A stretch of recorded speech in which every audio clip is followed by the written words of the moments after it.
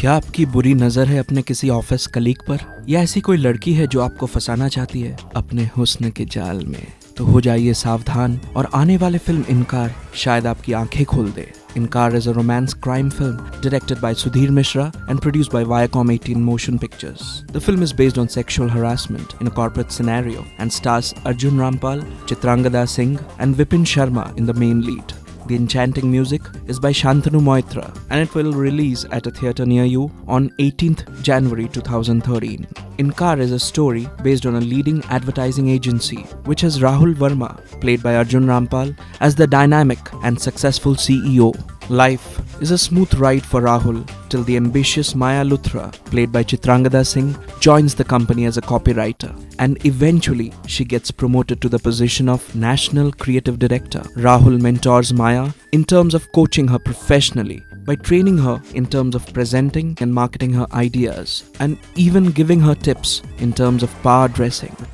Rahul was thus instrumental in channelizing Maya's energies in the right direction in a focused manner. However, what follows after he serves the company for 10 years is Rahul's worst nightmare. Apparently, Maya Luthra files an official complaint of sexual harassment. However, there's a thin line between right and wrong, ambition and greed, trust and betrayal, even truth and lies. So be ready for the lines to be crossed and watch the egos clash as the truth is unraveled by an appointed committee who probes into this. And you too, at the theatres, will get to see the reality. The bold and gorgeous Chitrangada Singh feels her portrayal of her on screen characters are more real and subtle as compared to other actresses. So, are you looking forward to watch Inkaar as office politics can't get hotter than this? Do let us know your feedback about the preview and remember to subscribe to Bollywood Now for your daily dose of pure entertainment.